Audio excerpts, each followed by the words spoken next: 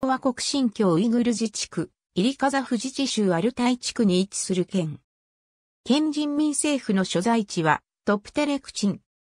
新疆北部の辺縁、ジュンガル盆地の北縁、サウル山脈の北麓、エルティシ川南岸にあたる北緯47度00、分47度59分、統計85度33分から87度09分、西はカザフスタン共和国と 141km にわたり国境を接し、東はブルルト海県、南はタルバガタイ地区のコブクサルモンゴル自治県と北はカバ県、ブルチン県に隣接する。県域は東西約 120km、南北約 110km。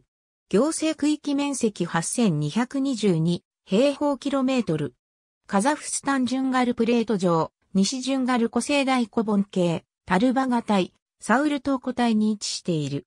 地質構造の発育、マグマの侵入及び火山活動が頻繁、鉱産は比較的豊富で、各種鉱産物は28大類107種に上る。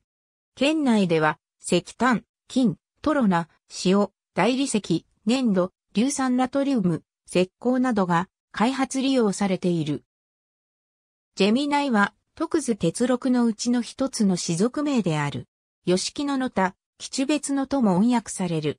清朝の準ガルブ平定の後、入将軍勝家のダルバガタイ三三大臣の管理下に置かれ、1906年のホブド、アルタイの分知事には、アロクタイベンジ大臣の管轄となった。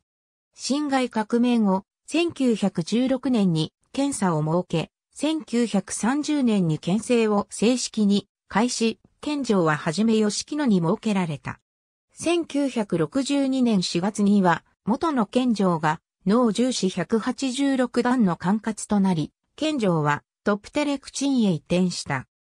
4チン、3教を管轄、総人口37,733人のうち男性19,090人、女性18,643人漢族13,209人、県内の15少数民族の総人口24,524人、非農業人口18,530人、農業人口19,203人、上鎮人口総数11,121人、2005年、カザフ族が人口の60%以上を占める。ありがとうございます。